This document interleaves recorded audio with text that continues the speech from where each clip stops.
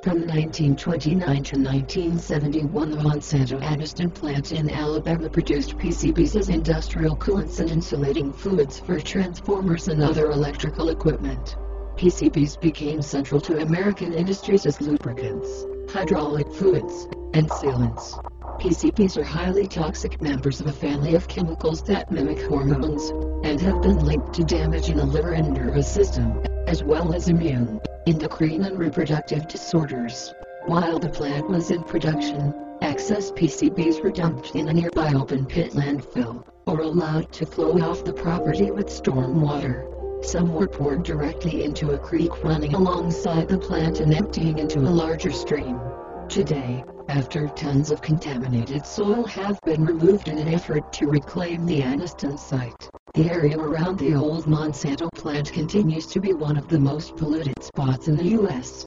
The people of Anniston have breathed air, planted gardens, drunk from wells, fished in rivers, and swum in creeks contaminated with PCBs without knowing the danger.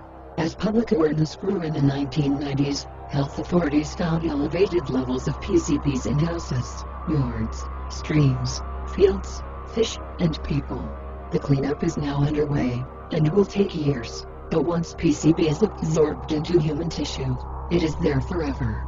Monsanto closed its PCB plant in Wales in 1977. In recent years, residents of Groesfaen, in southern Wales, have noticed biologists emanating from an old quarry outside their village. As it turns out, Monsanto dumped thousands of tons of waste from its nearby PCB plant into the quarry. British authorities have identified the site as one of the most contaminated places in Britain. What did Monsanto know about the potential dangers of the chemicals it manufactured? Information from court records indicates Monsanto knew quite a lot.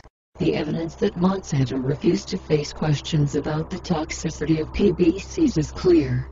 In 1956, the company tried to sell its PCB containing hydraulic fluid, Pydraul 150, to the Navy. Monsanto supplied the Navy with test results from the product, but the Navy decided to do its own testing. As a result, Navy officials informed Monsanto that they would not buy the product, saying that application of Pydraul 150 caused death in all of the rabbits testing and indicated definite liver damage.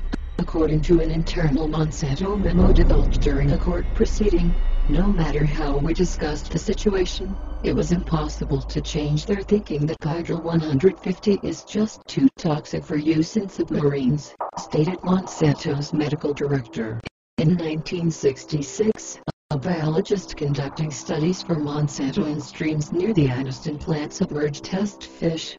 He reported to Monsanto that all 25 fish lost equilibrium and turned on their sides in 10 seconds and all were dead in 3 1 half minutes. The company swung into action to limit the PR damage when the Food and Drug Administration found high levels of PCBs in fish near the Anniston plant in 1970.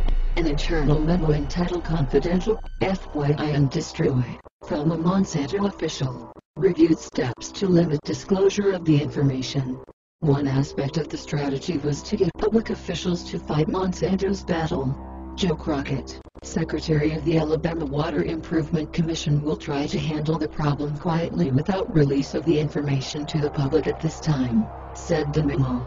The plant manager of Monsanto's Anniston site convinced a reporter for the Anniston Star that there was nothing to worry about. An internal memo from Monsanto's headquarters in St. Louis summarized the story that subsequently appeared in the newspaper. Quoting both plant management and the Alabama Water Improvement Commissions, the feature emphasized the PCB problem was relatively new, was being solved by Monsanto and, at this point, was no cause for public alarm. The real truth is that there was huge cause for public alarm for the harm done to the public by Monsanto. But that was the old Monsanto, not today's shiny new Monsanto. Today's Monsanto says it can be trusted, that its biotech crops are as wholesome, nutritious and safe as conventional crop, and that the milk produced from cows injected with its artificial growth hormones is identical to the milk from untreated cows.